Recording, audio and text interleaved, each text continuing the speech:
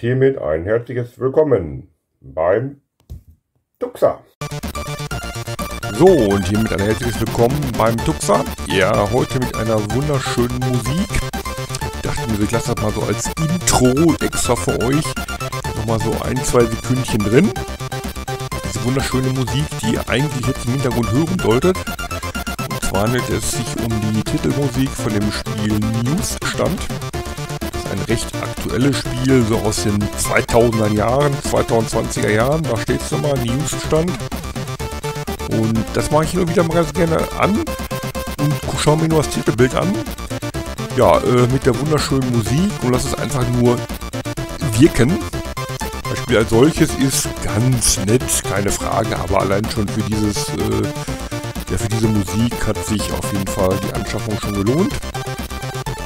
Ja, das wollte ich euch mal ganz kurz zeigen, beziehungsweise, ja, solltet ihr da einmal ganz kurz hineinhören. Ja, was steht heute auf dem Stand? Was steht heute auf dem Programm? Ich weiß ehrlich gesagt noch nicht so ganz genau. Ich fange mal mit einem klassischen Reset an. Ich resette mal den Commodore. Und jetzt können wir mal ganz kurz gucken, was wir so Schönes machen. Ich schaue mal in mein Directory nach. Ich bin hier noch auf Newsstand. So, ich lade mal den File-Browser. Und dann können wir mal kurz gucken, was wir jetzt so Schönes machen. Ich habe mir so gedacht, eine Runde zocken ist immer eine gute Sache. So, was könnten wir denn spielen? Ich habe hier unter Testen, ich habe hier noch eine Rubrik Testen. Genau, komm, wir können aber mit Testen anfangen. Ich habe hier so ein paar neue Spiele, oder für mich neue Spiele. Und da starten wir einfach mal hinein. Oh! Ball and Chain. Ball und Kette. Okay, äh, hier hätte man so eine kleine Spielanleitung, was man machen kann. Ja, ich würde sagen, wir testen einfach mal Ball and Chain. Was so viel wie Ball und Kette wohl übersetzt bedeuten könnte. Machen wir hier ein bisschen Platz. Mein Tux darf natürlich auch nicht fehlen. Hm, den Tux auch mal sehen hier. Und der echte Tux ist natürlich hier. Der passt wie, wie immer auf mich auf, ne? So wie es das gehört. Wo packen wir mal hin? Hier seht ihr jetzt nicht, aber er passt auf mich auf. Gut. Ich würde sagen, Joystick in die Hand. Ein bisschen Platz noch. Und dann geht es los.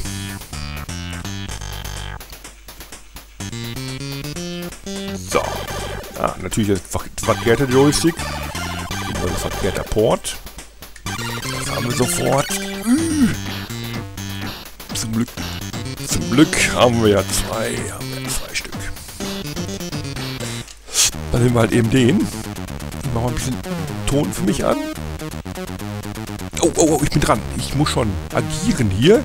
Oh, ich kann hier so lüftig hin und her flutschen. Coins einsammeln, habe ich da gerade gelesen. Also wie so ein kleines Gummichen. Ich weiß nicht, kommen jetzt hier auch noch irgendwelche Feinde? Man weiß es nicht. Ich spiele jetzt hier auch zum ersten Mal.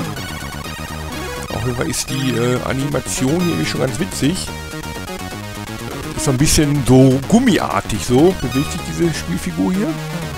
Ich weiß gar nicht, die äh, Sterne auch einsammeln. Coins, das habe ich noch gelesen. Es gibt Zusatzpunkte. Machen wir es einfach mal, ne?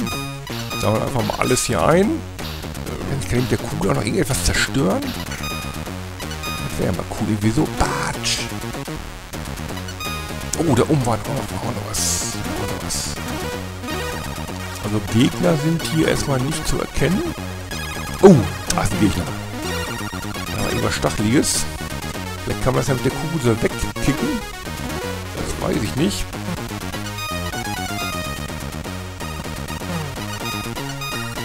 Und irgendwo auch eine Energie, die man verlieren kann, wenn man irgendwo aneckt oder so.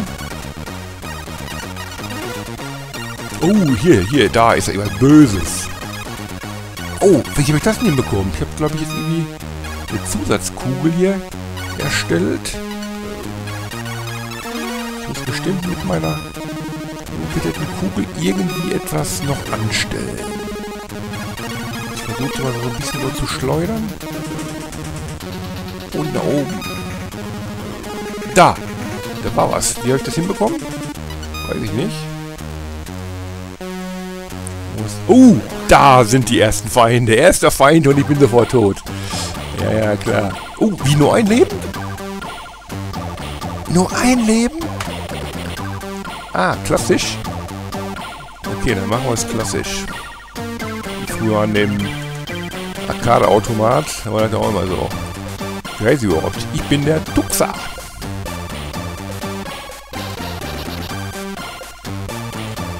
Drei Buchstaben geht nur. Okay, dann bin ich der Tux. Alles gut. 14.873. Gut, da wollen wir eben toppen. Das wollen wir dann toppen. Das sollte man ja auch hinkriegen, ne?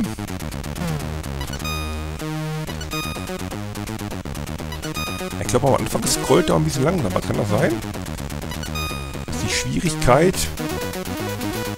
äh, ja in dem Fall sich mit der Zeit erhöht.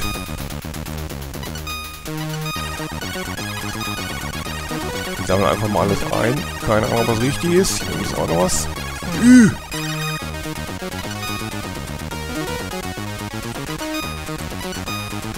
Also echt witzig gemacht, also von der Grafik her irgendwie... Oh! Ah, so geht das. Öh, mit der Kugel. Die Kugel kann ich nicht zerstören. Gut, für irgendwann muss hier gut sein, so eine Kugel, ne? Wo kommt ihr denn her? Ich habe gestern aber nicht gesehen, äh, gestern vorhin nicht gesehen. Oder ist es sogar besser, wenn man die mit der Kugel einsammelt? Man weiß es nicht. Hätte ich vielleicht doch diesen Scrolltext genauer lesen sollen. Nicht nur so ein, zwei Sätze oder Wörter, die mir da sonst Auge gestochen sind. Und da bin ich schon wieder tot. Also irgendwann kommt da dieser böse Pfeil. Okay, sieben, jetzt habe ich gerade mal die Hälfte. So, dann würde ich sagen, äh, auf geht's zu Spiel Nummer 2. Ich nehme mal ein Stückchen vor, resette diesen. Resette diesen. Dann schauen wir mal, was wir da noch so Schönes finden. Genau, einfach den File-Browser. Den File-Browser, besser gesagt.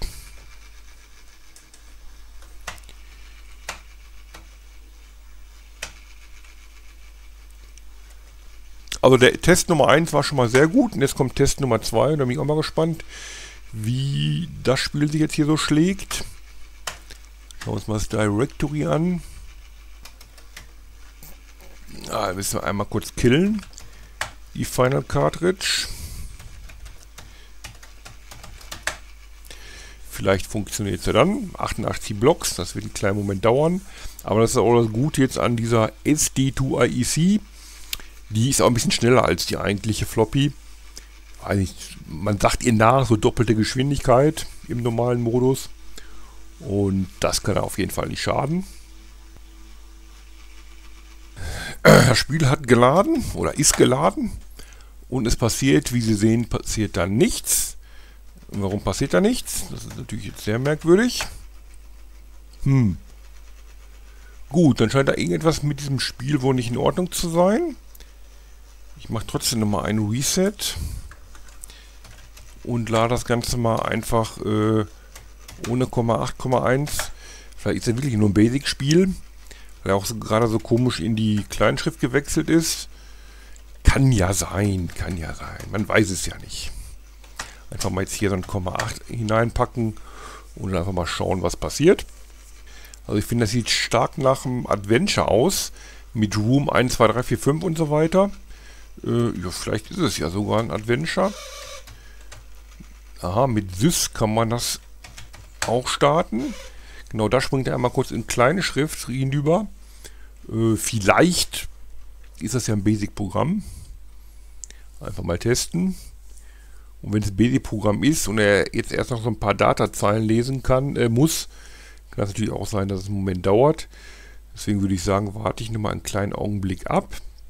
Ja, für euch vielleicht nur ein paar Sekunden. Ich werde bestimmt Schnitt einbauen. Und dann sehen wir uns dann gleich wieder. So, da wäre ich schon wieder. Und es ist ein Adventure. Das sieht stark nach D42 Adventure System aus. So vom grafischen Layout her. Und das könnte natürlich sein, dass meine SD2IEC sie nicht lädt, nicht laden kann. Gut, ich probiere es einfach mal. Mit einem Knopf, mit einem Feuerknopf. Nehmen wir doch wieder einen anderen Joystick.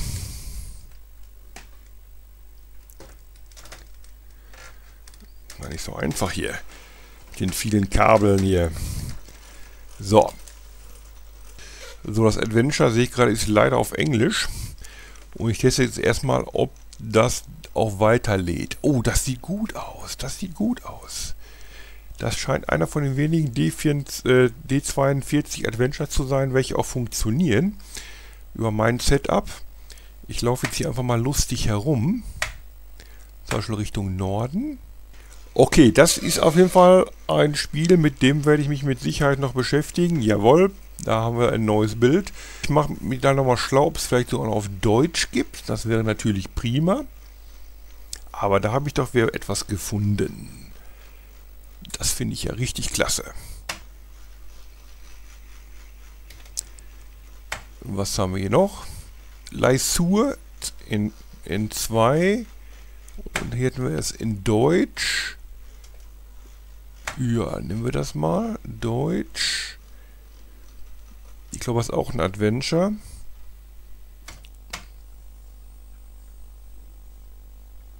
Ich mache auch mal mit, mit Kill. Und lade es auch mal ohne mit normal 8. Das hat ja vorhin auch funktioniert. Ja, wenn ihr wollt, kann ich ja mal so ein, so ein Englisch-Adventure machen, habe ich mir gerade eben überlegt. Äh, wird natürlich dann ein wenig länger dauern. Was natürlich in Deutsch natürlich einfacher zu verstehen ist, oder für mich zumindest.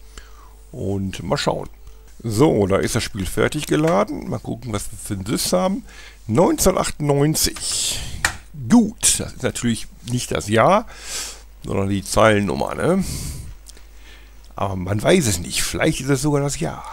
Bitte die Diskette mit Leo 2 einlegen. Kein Problem. Drücke ich einmal auf die magische Taste hier. Scanne. Und nein, leider eine Fehlermeldung. Das ist der richtige Sender. Gibt Nazis keine Chance. Ja, das kann ich unterstreichen. Oh, sehr gut gemacht. Dieser Effekt. Out of Order. Softworks Presents. Volker Ross Production in 1997. Also könnte das vielleicht mit dem Sys-Befehl ja doch sein. Leo Feuerstein in coole Mucke. The Secret of Monkey Island. Ich bin unter anderem der Held des Spiels. okay, okay. Machen wir einfach mal hier. Ah, meine Floppy blinkt, meine Floppy blinkt. Das heißt, das Spiel wird wohl nicht funktionieren. Kommt bestimmt bei Timeout. Ah, das schützt er ganz ab.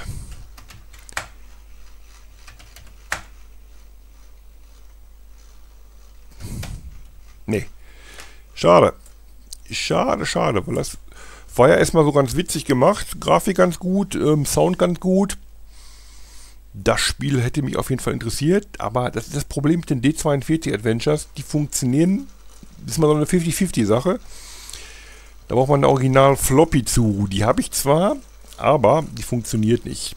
Ich habe drei oder vier Stück mittlerweile und alle gehen sie nicht. Ist natürlich ein bisschen ärgerlich.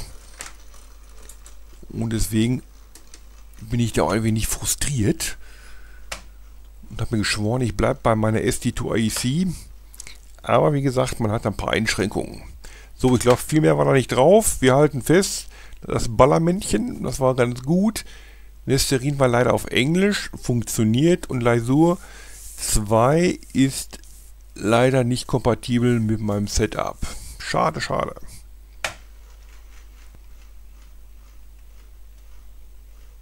Action, komm, wir machen mal ein Action-Spiel. Metal, Metal Warrior. Metal Warrior ist immer gut. Aber es hat ich in letzter Zeit zu viel gespielt. Sam's Journey. So, wir machen mal ein schnelles Spiel. Star Drust Girl. So. Ich sollte die richtige Taste drücken. Das müsste auch so mit dem Schnellader funktionieren. Da ist er schon fertig. Das war jetzt ungeschnitten. Hat aber auch nicht so viel Blocks, glaube ich. Gehen wir gleich gucken, wie viele Blocks es hat. Oh, wunderschönes Titelbild. Und auch mal eine ganz coole Musik. Kann man ja ein bisschen mal wirken lassen. Sehr gut gemacht. Also, wie bildlich so aufbaut. Finde ich gut.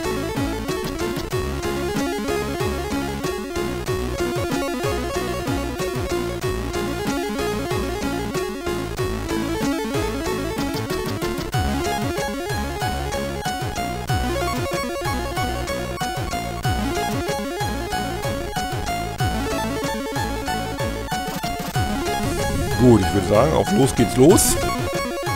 Oh, einmal die müden Knochen hier ein bisschen richten. Jetzt nämlich Reaction angesagt. Reaction. Oh, sieht so stark so ein bisschen nach Werbung aus, oder? Man weiß es nicht. So, Press Fire. Ich den verkehrten Joystick.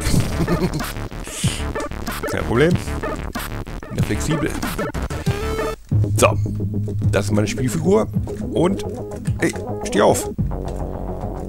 Also mein Joystick hakelt ein wenig. Oh, nee, da kann man nicht drüber. Den muss man wegboxen. Wie Supergirl. Den muss man drunter sliden. Das muss man aufsammeln. Da muss man drüber springen. Also die Kunst des Spiels ist es, richtige Richtung des Joysticks im richtigen Zeitaugenblick zu betätigen, um möglichst viele Punkte zu bekommen.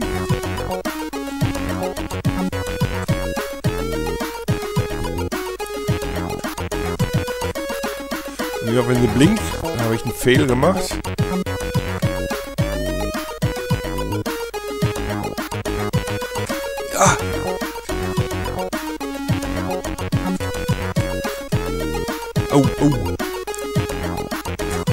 Dollars oder was auch immer ist, einsammeln. Oder Sternchen.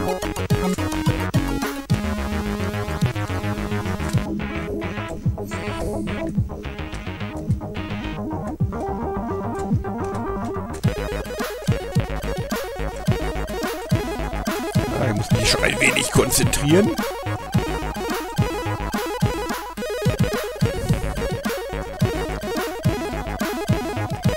ein sehr kurzweiliges, einfaches Spielprinzip, was ich zwischendurch eigentlich mal ganz gerne mal zocke. Wenn mein, meine Erfolgsquote hier nicht ganz so hoch ist, ich glaube 165 Punkte oder irgendwas. Bei 265 Punkte war mein Rekord. Persönlicher.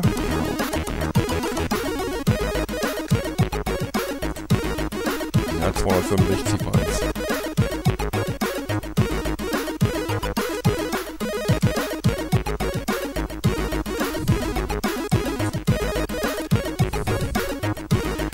immer wieder faszinierend, dass eine Geschwindigkeit man mit 1 MHz CPU hinbekommt und natürlich 8-Bit.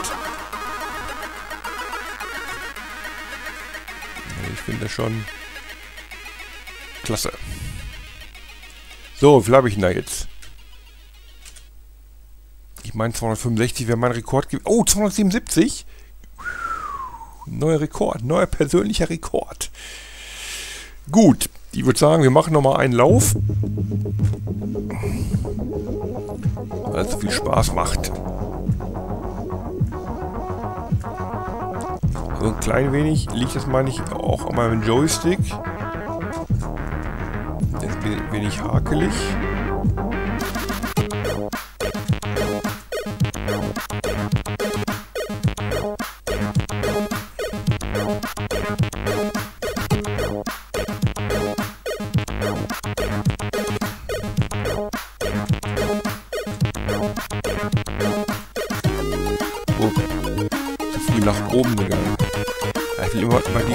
Mauer drüber springen. Aber das funktioniert nicht.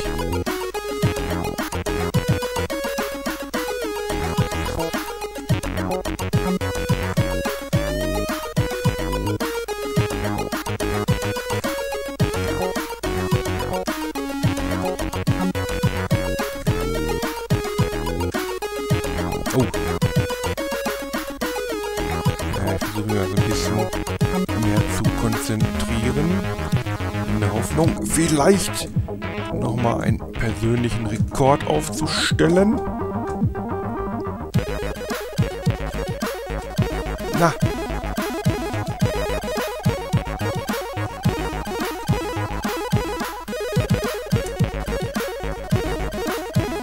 Wenn das Scrolling immer schneller wird, oder bilde ich mir das nur ein?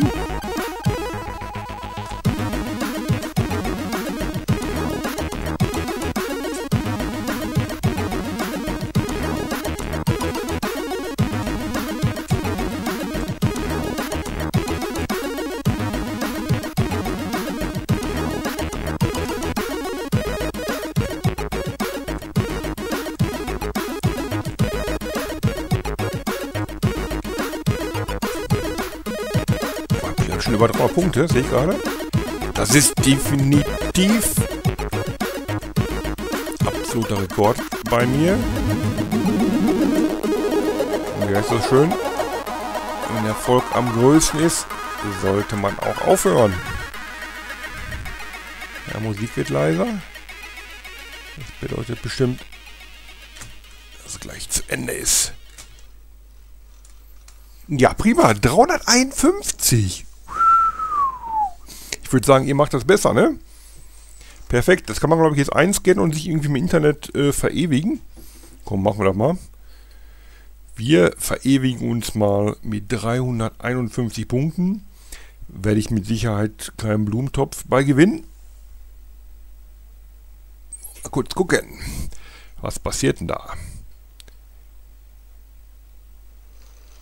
Achso, nee, das ist einfach nur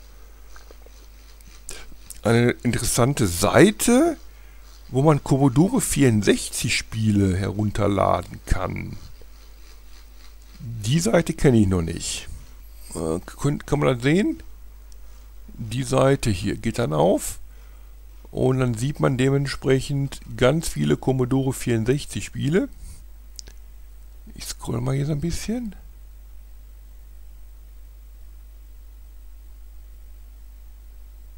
Würde sagen, die Seite schaue ich mir auf jeden Fall mal an. Sieht sehr interessant aus. Kenne ich noch nicht. Ich speichere mir die Seite mal ab. Kopieren. Ich schicke mir selbst eine WhatsApp. Eine WhatsApp nur für mich. Zack, und dann habe ich den Link gespeichert. Gut, weiter geht's.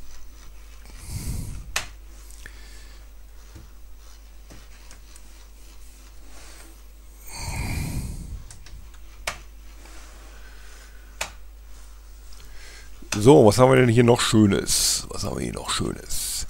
Action. Ich bin zurzeit auf dem Action-Trip. So, was können wir noch testen? Bugs Garden, Hessian Clone, äh, Night, Night, äh, Last Amazon, hm, hm, Moorhu, Newsstand, Nixie. Ja. Ich kann das trotzdem mal anmachen. Hören wir uns halt eben mal das schöne Lied an weil das lohnt sich auf jeden Fall.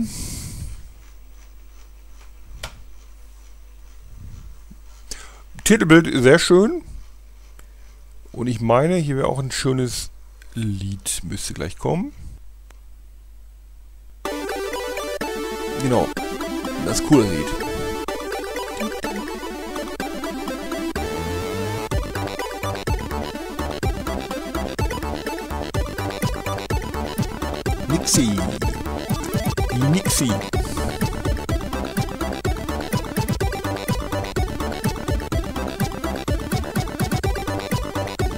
So, dann gehen wir mal hier auf Play. So, ja, das wäre jetzt Nixie halt, ne? Mal hier so ein grünes Wesen. Ich weiß gar was die so alles kann. Irgendwie kann die wohl nix. Ah, die kann springen. Den Feuerknopf. Oh. Ups. Ja, okay. Wenn ich jetzt wüsste, wo ich hin müsste. Kann ich vielleicht hier an diese festhalten? Oder muss ich auf die andere Seite? Okay. Noch ein bisschen weitergelaufen. Kann die so weit springen? Ach, die kann so weit springen. Ja, immerhin. Denke mal, dieser Geist hier ist auch böse.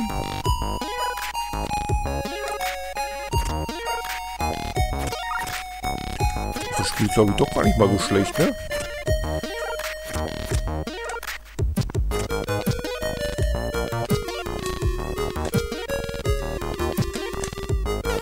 Ne, also draufspringen kann man auch nicht. Gut, das Spiel sieht interessant aus. Ich mache mir nochmal schlau, wie es funktioniert, was man da jetzt machen muss. Es wäre jetzt schade, wenn man einfach nur nach rechts und einfach nur nach links laufen kann, dann wäre das Spiel zu Ende. Das kann es mit Sicherheit nicht sein. Aber zum ersten Test sah das Spiel auf jeden Fall schon mal sehr, sehr interessant aus. Dann schaue ich nochmal ganz kurz, ob ich noch irgendwie ein anderes Spiel hier finde, was vielleicht auch noch ganz interessant ist. Action haben wir gesagt. So, die Nixie haben wir. Ranger Rambo. Ja, da haben wir richtig Action. Komm, zum grünen Abschluss noch einmal ein Rambo spielen hier. Das können wir lieber machen. So, komm. Auf geht's. Run. So, unendlich viel Leben. Nix da. Wollen die einfach nur zocken. So, schauen wir uns mal das Titelbild an. Sieht das schon mal nice aus.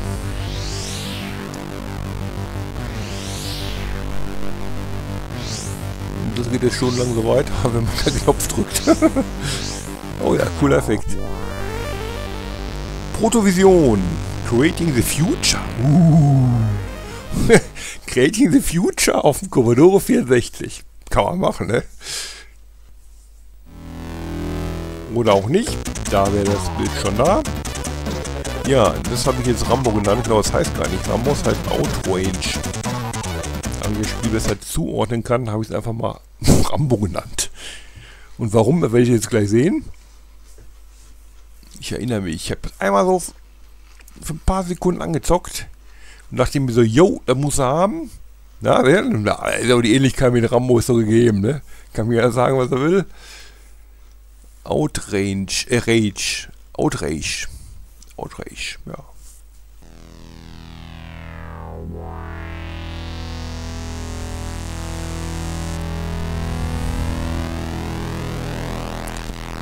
Auch wieder schön, ähm, dass, dass die Grafikstreifen über den Bildschirmrand hinausgehen, ne?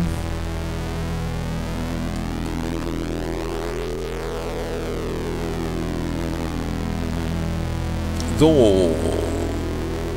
Outrage. Outrage. Was muss ich jetzt machen? Von 2020. Eine coole Mucke wäre, ne? Mal einen verkehrten Joystick. Aber zum Glück haben wir zwei. Und wir laden wieder. So, das ist Rambo. Oh ist Action pur. Das ist schon wieder viel zu viel Action für mich hier. Haben wir eigentlich unendlich viel Schuss? Oh! Wurde getroffen. Wo muss ich hin? Wer, wer bin ich? Boah, kommt der Feuer raus. Uh, der war nicht gut.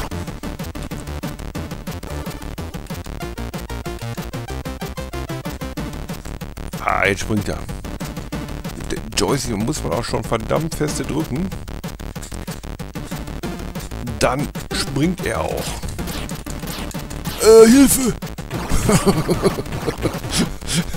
okay, ich merke schon, das Spiel ist nichts für mich.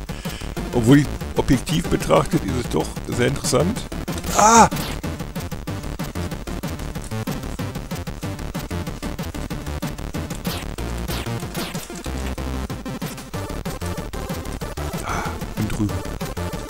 Jetzt? Soll auch sein, so Art Totenköpfe? Oh. Ja, mit der Münze. Oh, ist eigentlich ganz witzig. Ah! Wie, wieso ist denn runtergefallen? Kollege, da war doch nix. Also man kann hier wohl scheinbar irgendwie runterfallen, wo nichts ist. Hä? Achso, da ist ein kleines Loch drin. Ja, okay, okay. Da haben wir das kleine Löschen übersehen. So, noch einmal Rambo spielen hier. Komm, du Wurm.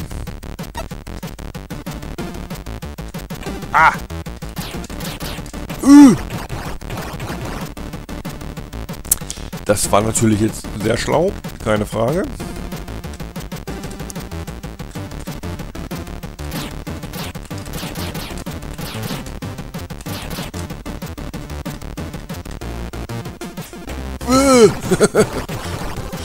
okay.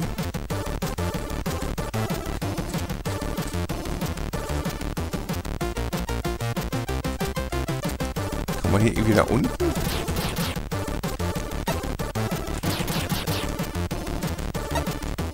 Ah, schieß doch!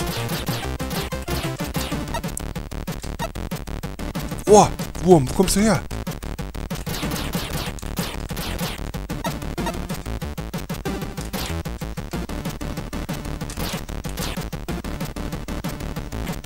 Hä? Hä? Was ist los? Was ist das denn jetzt? Ein Shop? Viel habe ich denn? 100... Was kriegen wir für 185 Geld? Eine Bombe. Komm, wir mal eine Bombe. Komm, wir nehmen zwei. Ach komm, wir nehmen nur eine. Mehr geht nicht. Gut, wir kommen jetzt hier wieder raus. Exit. Nein, Exit. Und wie werfe ich die Bombe? mit Space. Oh. Was ein echter Rambo ist, ne? Eine tolle Bombe. Zack. Da habe ich bestimmt keine mehr, ne? Ups, ja, schon wieder drauf eingefallen. Schon wieder drauf eingefallen.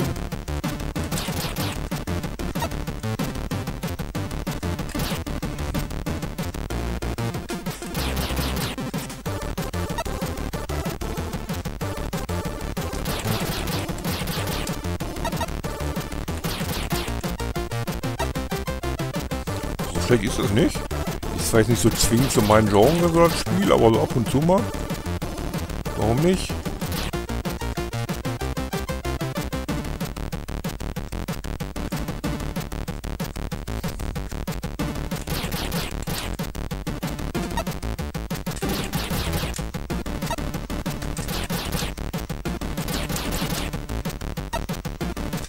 Oh, boah, Hilfe.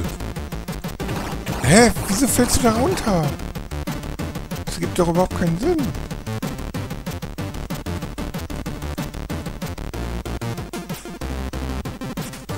Nein!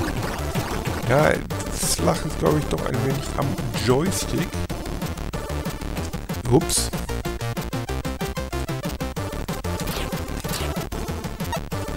Leben ich überhaupt noch. Kann das ja nicht sein.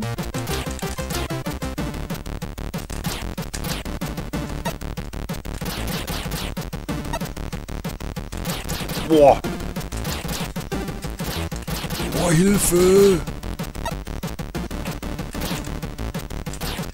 Boah. Ach du, ach du. Was ist denn hier los? Wo kommen die ganzen Dinger her?